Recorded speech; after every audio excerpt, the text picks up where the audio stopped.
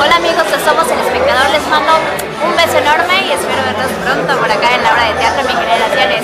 Cecilia Priego, abrazos y bendiciones para todos. Cecilia, cuéntanos de tu papel en esta obra. Bueno, mi personaje se llama Sol Vega, eh, vengo tocando un poquito lo que es el tema de la soberbia. es una chica pues, que al final ha tenido todo, es una chica muy, muy, muy fresa. Entonces, pero al final ella tiene un conflicto, ¿no? Porque ella cree que el dinero lo puede todo, pero no les puedo contar más porque tienen que ir a verla para que vean en qué termina su historia. ¿Cómo ves el panorama del teatro en México?